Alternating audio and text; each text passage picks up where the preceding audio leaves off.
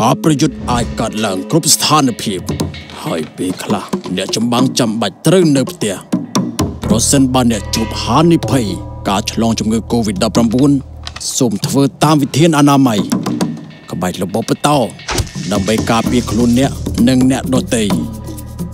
នៅដាច់ដោយឡែកនៅបន្ទប់ដែលមានខ្យល់ចេញចូលគ្រប់គ្រាន់រក្សាគម្លាតសុវត្ថិភាព មួយម៉ាត់កន្លះពីគ្នា និងពាក់ម៉ាស់ ពិនិត្យរោគរោគសញ្ញាដូចជាក្តៅខ្លួនកកហត់អស់កម្លាំងនិងពិបាកដកដង្ហើមរក្សាអនាម័យលាងដៃរបស់អ្នកជាមួយសាប៊ូនិងសម្អាតកន្លែងរបស់អ្នក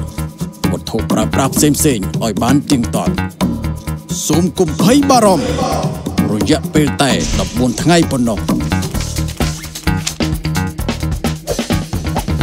នៅដាច់ដល់ឡែកពីនិតរោគរោគសញ្ញា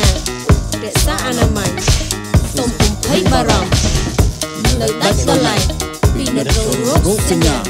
ក្សាអនាម័យសូមកុំភ័យបារម្ភខ្លាចជាអ្នកប្រយុទ្ធនឹង COVID-19 សូមទូរស័ព្ទទៅលេខតនហេតុការ115សម្រាប់ព័ត៌មានបន្ថែមផលិតក្រោមការគ្រប់គ្រងពីក្រសួងសុខាភិបាលទីភ្នាក់ងារសហរដ្ឋអាមេរិក USAID និងអង្គការសុខភាពពិភពលោក